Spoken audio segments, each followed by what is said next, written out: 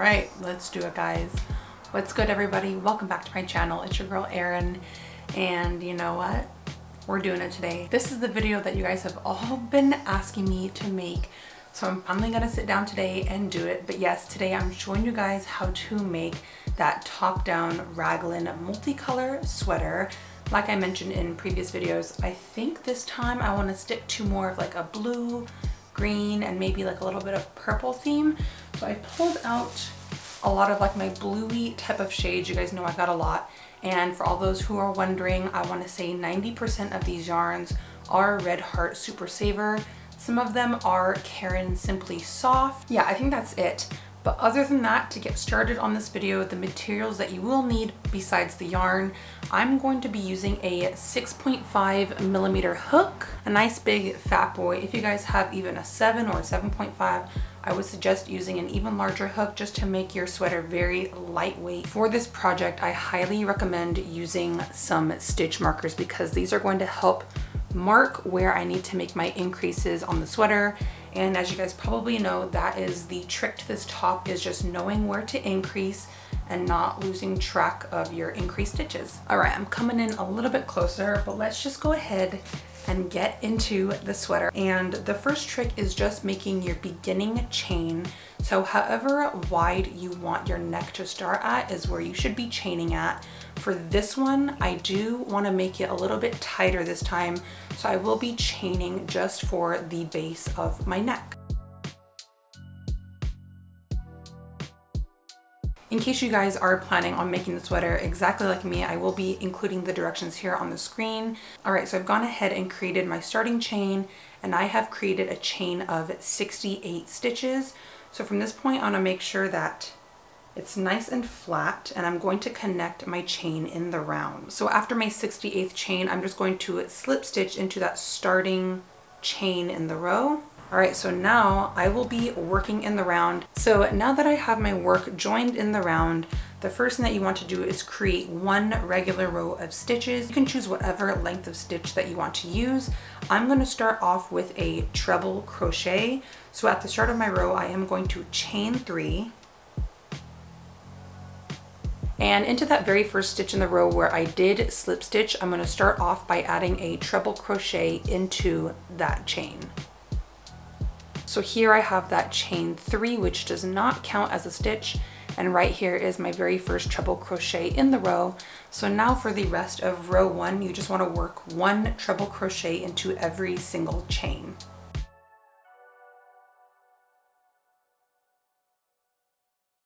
All right, I've finished up the very first row. I've already gone ahead and cut off my yarn, but I just wanna make sure I can get this, oh yeah, over my head easily. So this is the shape of the neck that I have right here. It's pretty rounded boat neck, which is what I'm gonna go for in this video. So now I'm gonna show you guys how I add my increases to my sweater. All right, so like I said, I already cut off my yarn. I still have to join my work in the round, but when I join my work at the end of my row, that is where I change out my colors. So I will be doing that in a second. But here is where I wanna show you guys where to place your stitch markers. So here is my work in the round. I'm simply just going to fold it in half. So at this point, I'm just gonna go ahead and pretty much pinch off about two inches from the edge of my work over here. So I'm just gonna go ahead and count out how many stitches that is from the corner of my work. All right, so from the very corner of my work when it's folded in half, I've counted out six stitches from the edge of my work and this is where I'm going to place one of the stitch markers. All right, so like I said here from the edge of my work, I have placed that stitch marker. This is six stitches. And likewise, I'm gonna count out the same amount of stitches on the other side of the half of my work. Boom, okay, there are my two little stitch markers. So I'm gonna go ahead and repeat this on the other edge of my work. I'm gonna mimic the same amount of stitches. All right, so I've gone ahead and added all four of my stitch markers and now I can go ahead slip stitch the end of my row together and I'm gonna change out colors. All right, so right here you guys can see I slip stitched with my very new color. And guys, I have pointed this out in some of my past videos, but another pro tip If you're working in the round, you have to turn your work at the end of each row. If you continue to work in the same direction every single round, you're gonna get a really crooked back seam or side seam. And because I want it to be straight and essentially virtually seamless, I need to turn my work at the end of each row. So for row two here, I am going to chain three again. All right, so now I'm getting really excited for the sweater. For row two, you do want to place one treble crochet into every single stitch until you reach your stitch marker.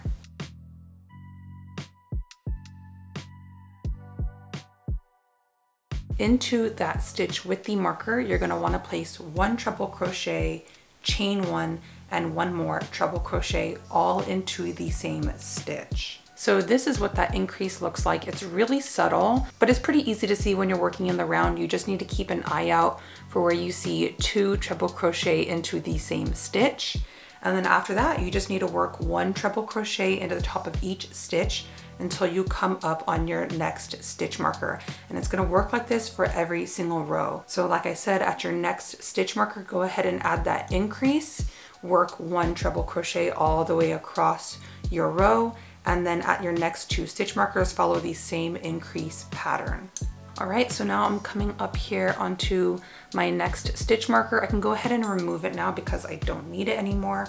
And again, I'm just gonna be working one treble crochet, chain one, one treble crochet all into the same stitch. All right, so pretty much at this point, I'm just gonna go ahead and finish up row two. Of course, I'm gonna add those increases at my next two stitch markers but I can't stress this enough. That's really all that there is to this pattern. All right, jumping back on here just to cue you guys in on what I have so far. I have finished up row two and I've gone ahead and attached my new yarn. I'm kind of going with like a olive green. You know, I'm just gonna throw in a little bit of green, maybe a little bit of purple. But again, at the start of my row, guys, don't forget to turn your work at the end of each round. I'm just gonna work one treble crochet into each stitch until I get to my increase.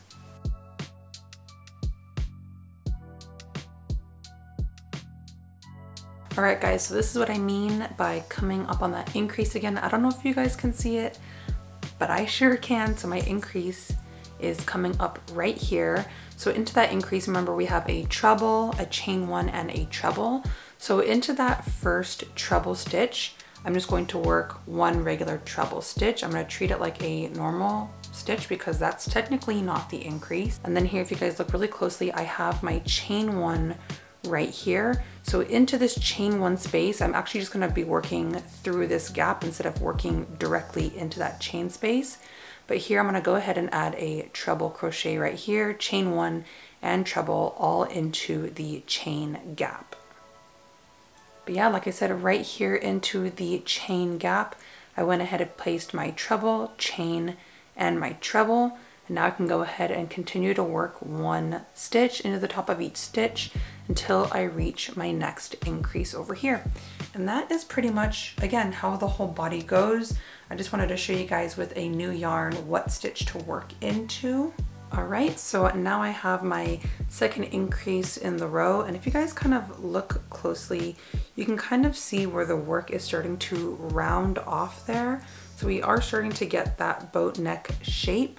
Um, and when I finish row three, I'll just go ahead and take a pause. I'll probably throw it on and show you guys the progress with just three rows. So I actually finished up the fourth row. I just went ahead and picked out a black yarn, but now I'm just gonna throw it on over my head just to show you guys what it looks like so far.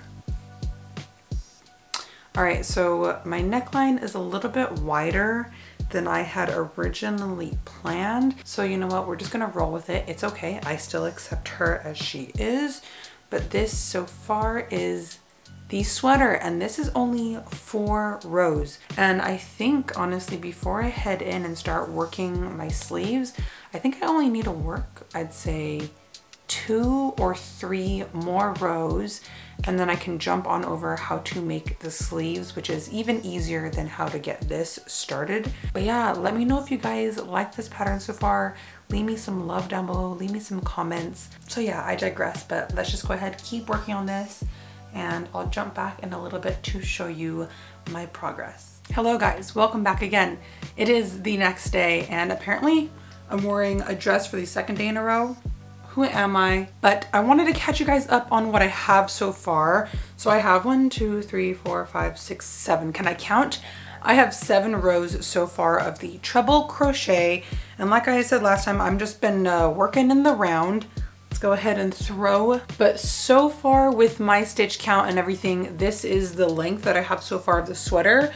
So I think at this point, this is where I'm gonna start working on the sleeves. I have enough length here at like the armpit to start you know, joining the two back pieces. And as you guys can see, it does come all the way over my shoulders. So I think I am ready to start working on the sleeves and show you the rest of like the body portion. But before I go ahead and show you guys how I work the sleeves, I wanna take a moment to thank today's sponsor of this video, which is again, Ana Luisa Jewelry. Like I've mentioned before in my past videos, Ana Luisa is an environmentally conscious jewelry company based out of New York. And honestly, this is one of the very first things that caught my eye about this brand. But I'm sure you guys have all been noticing that I have been wearing their jewelry nonstop for like my past 10 videos.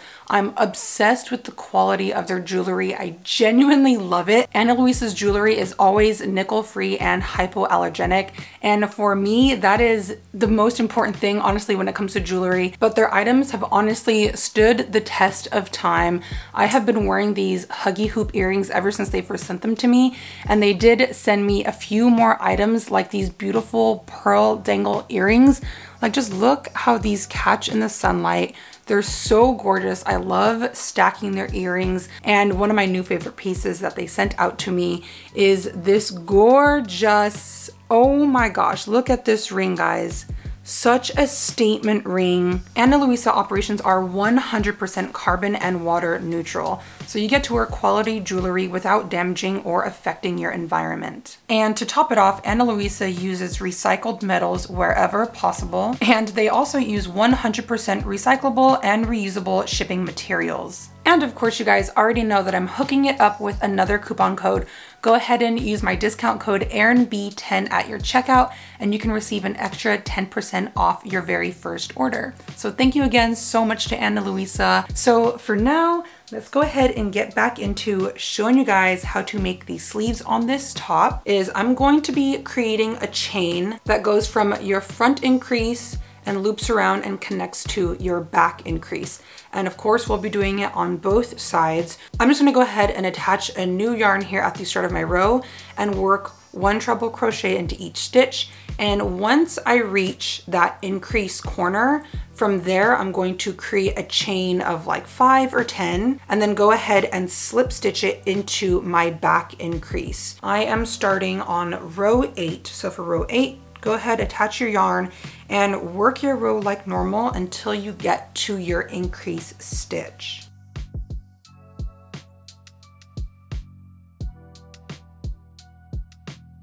All right guys, here we go. I have worked those stitches and I am coming up on that increase stitch right here. So like I said, this is the part where I'm going to create a bunch of chains and then connect it to the increase on the back side of my work. So at my increase, because I haven't worked into it yet, I'm gonna go ahead and work one more treble crochet right into that increase. All right, so now that I've worked into that increase stitch, I'm now just going to create a chain and this part is really up to you. Um, I actually wanna gear this sweater to be a little bit more fitted around the arms. So I think I'm just gonna go for a chain of five and then I'm gonna go ahead and connect it to my back piece. And now I'm just gonna go ahead and find the increase on the opposite side of my sweater. So make sure you fold it in half and grab the right increase on the opposite side, but right into that chain space where we've been working the increases, that is where I'm just going to slip stitch my chain together. So by creating this little chain in between your two increases, you now have like a new row to start working into when it comes to your sleeve. So thankfully, that's not too tight or anything. And now that we have the little chain for our first sleeve all done in order to get to the other side, I'm really just gonna pick up where I've left off here after I've joined my work. And again, just continue to work one treble crochet into every single stitch until you get to your other increase on the other side. So I'll meet you there in a second. Alrighty, I'm coming up on the next increase. So of course, don't forget to work one treble crochet right into that chain space area. All right, so this is what I have so far. I'm gonna go ahead and chain another five. And then after I've created that little chain, of course, I'm gonna go ahead and find the other increase on the corresponding side and slip stitch into that increase. Can you guys see that? Can you guys see that I've now made two separate armholes and all I did was connect it with a chain. So here from this point now, all I'm gonna do is finish up working on the backside of my sweater and then join it in the round here at the end of my row. And now I can start working on the sleeve portions. So when you're working in the round for the sleeves, when you come to your chain space, you're gonna work your trebles into that chain space in the round. Now I have my little chain here at the start of my row and into that same stitch, I'm going to be working my first treble crochet and I'm gonna work one treble crochet into each chain space. I've just finished up working those treble crochet stitches along that chain row that I have right there.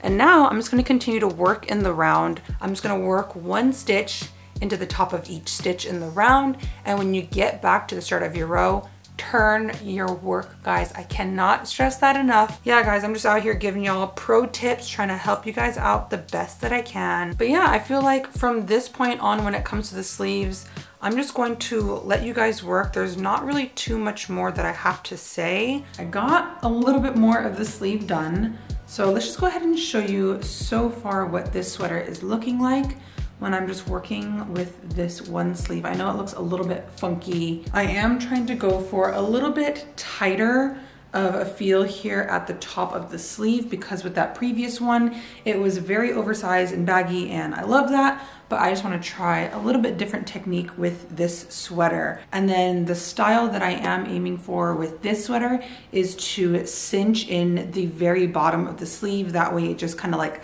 sucks in and it's a little bit tighter. It's not, you know, flailing everywhere. Yeah, so I'm hoping to get a good portion of this sleeve done because I gotta get this video out. I gotta get it finished for you guys. But yeah, just follow the same pattern that I've had here on the screen. I'm gonna continue to work on the sleeve and show you guys what I have after half of this is done.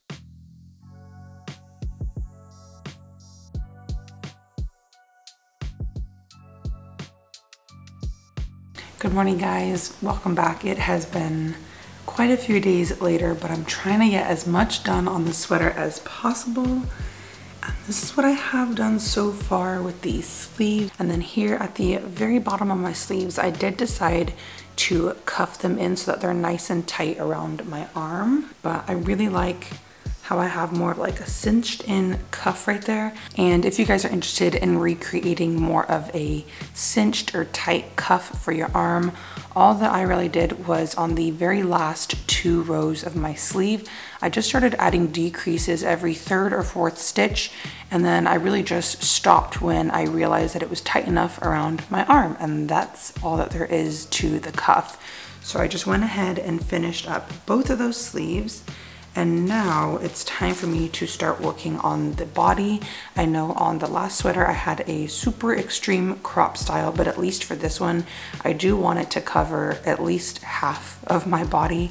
So I'm just going to, now that I have those sleeves attached, I can work in the round for the body a lot easier. So seriously, all I'm gonna be doing is adding more rows to the body of the sweater and that's literally it. And I think I'm gonna go ahead and match the body to the sleeves by cinching in the body once I get another eight or nine rows done. So I'll check in with you guys really soon. Let's just go ahead and time lapse and then I'll show you guys what I have in a few hours.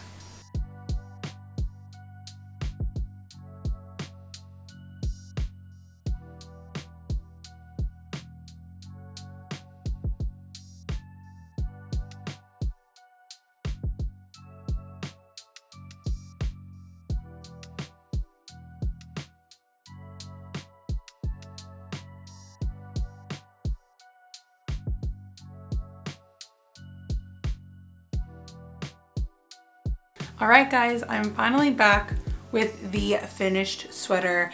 Now, trust me when I say that I have been busting my butt off to get this finished just in time for you guys. So please just like, you know, a round of applause for my broken fingers at this point but I'm so happy with how it turned out. And as you guys can probably tell, it is a little bit different of a style than the previous cropped sweater that I have shown you guys. But if you guys are trying to recreate that exact same style, it's really easy to get back to how I did that instead of this style. To be honest with you guys, it's actually a lot easier to make that style sweater than the one that I did here because this one is more of a full length sweater. But as you guys can probably tell, the sleeves here are a little bit different. I decided to add a couple decreases on the last two final rows of the sleeve so that way you guys can see here it like cinches in and it's nice and tight and I can like pull the sweater up onto my arm trying a little bit new of a technique. And as you can see my boat neck style I'm so happy though that this neck did come out more rounded instead of square like that past top that was something that I did want to fix so I'm really happy that the stitches that I used with this raglan top down pattern did result in that rounded crew neck style. The final thing that I worked on was the body of the sweater. For this one, I did want to go for more of a full length type of sweater. That way, if I wear something high waisted or a skirt, I can tuck the sweater into that skirt and it still results in kind of like a cropped looking sweater. But again, if you're trying to go more towards that previous sweater that I made, just don't add as many rows as I did. I honestly could have stopped probably right around here to give it that cropped look again. But because I want to try to make, you know, more one-of-a-kind pieces and not replicate the same exact style, I did just go in and add a ton more rows to the body, no increases, no decreases at the cut on this neck. Tell me that's not like super feminine. So yeah, this pretty much wraps up my scrappy sweater how to make video. Because I do have the other gorgeous, very colorful sweater, I am thinking that I'm going to list this one as well on my website as a one-of-a-kind piece. It's so warm, it's so comfortable. At the same time, it's pretty lightweight and breathable because I did use a 6.5 millimeter hook. But yeah, I think I'm going to sell off this sweater to a good home so if you guys are interested in buying this one-of-a-kind sweater made by yours truly, uh, keep a lookout on my website in the next few weeks. I'm also going to be listing that beautiful mohair sweater that you guys have seen me made, and that is also a one-of-a-kind, no replica type of sweater. So yeah, I just wanted to give you guys the run through on the sweater, show you guys the final result, and I'm seriously over the moon. I'm really glad I've been dipping more into my scrap yarns recently, trying to just reuse and recycle everything that I have. Oh, and real quick before I go, in case you guys are still here at the very end of my video, go ahead and comment, Hi Millie, this is my new plant. I just got her like a week ago and I'm doing my darndest to take the best care of her. So yeah, just let me know if you guys have made it here to the end of the video. I know a lot of people probably click out at this point because I just ramble. But let's go ahead and pull this video to a close. Thank you guys so much for tuning in. I hope you guys got a little bit more useful tips on how to make scrappy one-of-a-kind sweaters. Much, much love going out to all of you and happy holidays. Bye.